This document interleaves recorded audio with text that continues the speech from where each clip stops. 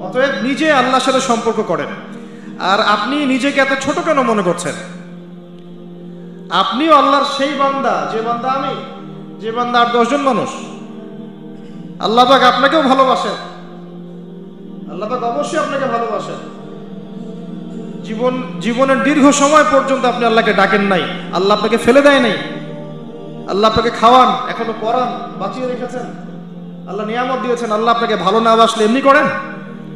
আল্লাহ পাক অপেক্ষা করছেন কবে খালি আপনি আসবেন? আল্লাহর কাছে এসে বলবেন, আস্তাগফিরুল্লাহ ওয়া আতুবু পাক অপেক্ষা করে বসে আছেন আপনার জন্য। আপনি কোথায় যাচ্ছেন? ফাইনা তাযহাবুন। আল্লাহ পাক বলেছেন কোথায় যাচ্ছ তোমরা? কোথায় যাচ্ছেন? টাকার পিছনে। বাড়ি, গাড়ি স্ট্যাটাস স্ত্রী, সন্তান বিলাসের পিছনে। আল্লাহ অপেক্ষা করছেন আপনার আসেন, সেজদা করেন। ওয়াসজুদ ওয়াক্তারি সেজদা করেন, নিকটবর্তী হন। আল্লাহ আপনার জন্য অপেক্ষা করছেন। যাবেন না আল্লাহর কাছে? আল্লাহ পাক সবাইকে আল্লাহর কাছে ফিরে আসার তৌফিক দান। এটাই হোক আমাদের কাছে আসার গল্প। এটাই হোক আমাদের কিসের গল্প? কাছে আসার গল্প। আমাদের জেনার গল্প দরকার নাই। ওদের কাছে জেনা হচ্ছে কাছে আসার গল্প।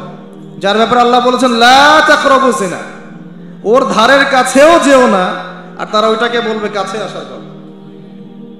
ইন্না লিল্লাহ ওয়া ইন্না ইলাইহি রাজিউন। আল্লাহ আমাদের যুবক যুবতীদেরকে হেদায়েত দান করুন। পিতা মাতাদেরকে পরিবারে অনুশাসন বজায় রাখার তৌফিক দান করুন। আমাদের এই কাজগুলোর প্রতিফল কিন্তু আমাদেরকে ভোগ করতে হবে। আমাদের মেয়েদের, আমাদের ছেলেদের, তাদেরকে আমরা কীভাবে বড় করছি, এটার হিসেব কিন্তু আমাদেরকে চুকিয়ে দিতেই হবে।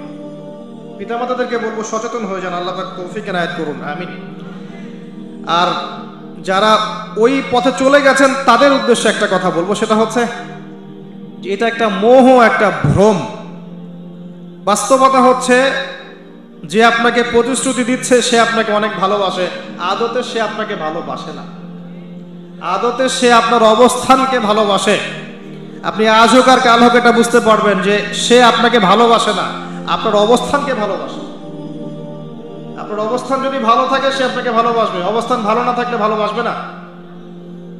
একইভাবে আপনি একটা মেয়ের কাছে যে ভোগবিলাস চাচ্ছেন, একটা ছেলে, একটা গায়ের মারা মেয়ের সাথে ফ্রি মিক্সিং করলে তার একটাই উদ্দেশ্য থাকে, সেই মেয়েটাকে ভোগ করা।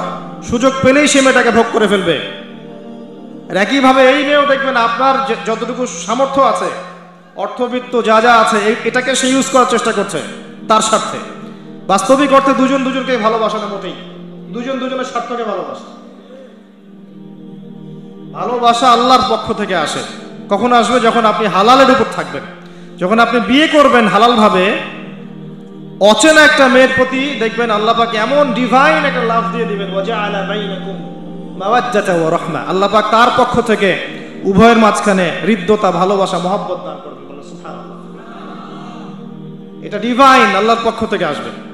ঐশ্বরিক, আর বাকিটা হচ্ছে ঐশাচিক শয়তানি, প্রবৃত্তির দাসত্ব, ভোগবাদী।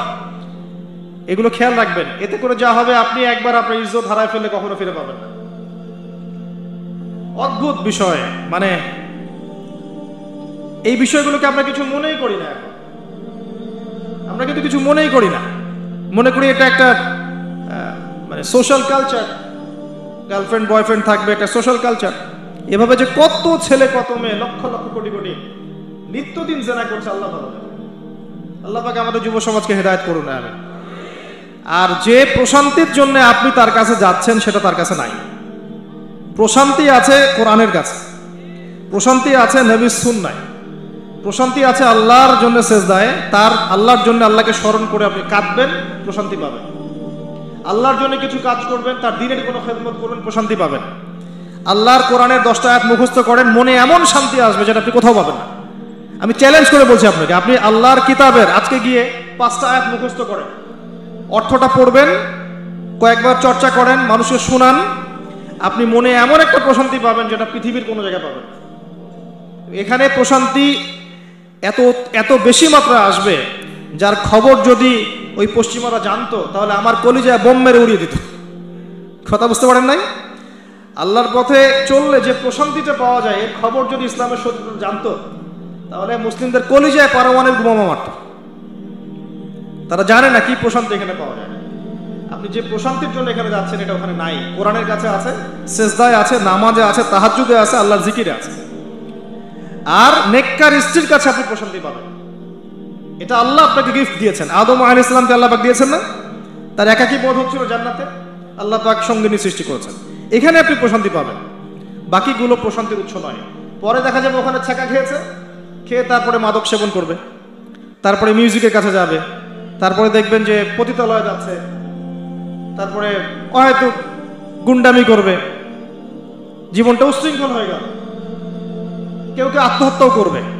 কারণ হচ্ছে ওই যে শুরুতে একটা মেয়ের সাথে প্রেম করে ছাকা খেয়েছে। ওখানে প্রশান্তি খুঁজেছে, শয়তান এদেরকে নিয়ে খেলেছে, এক পর্যায়ে দুজনের জীবন নষ্ট করে ফেলে আদতে কি হলো? মুসলিম উম্মাহ থেকে দুইটা নক্ষত্র ঝরে গেল। হয়তো ওই যুবককে দিয়ে দিনের কোনো খেদমত হতো, এখন আর হলো না। হয়তো ওই যুবক তার যৌবন যৌবনকালটা ইবাদত করে কাটাতে পারতো আরও সে ছায়া ছায়া পেত, আর পেল না। শয়তান সাকসিড শয়তান জিতে গেল। এ হচ্ছে বাস্তবতা। বাস্তবতা বোঝেন আল্লাহর কাছে ফিরে আসেন, আল্লাহ আপনার অপেক্ষা করছেন। আসবেন না আল্লাহর কাছে? এটাই হোক আল্লাহর কাছে আমাদের কাছে আসার গল্প। আল্লাহ পাক আমাদেরকে তৌফিক দান করুন। আল্লাহ আমিন। নামাজটা ছাড়েন না। যত পাপ করছেন, করেন। আমি বলি নামাজ ছাড়েন না। ইনশাল্লাহ একদিন নামাজই আপনাকে পাপ থেকে বের করে আনবে, ইনশাল্লাহ। শয়তান আপনাকে হতাশ করতে চাইবে।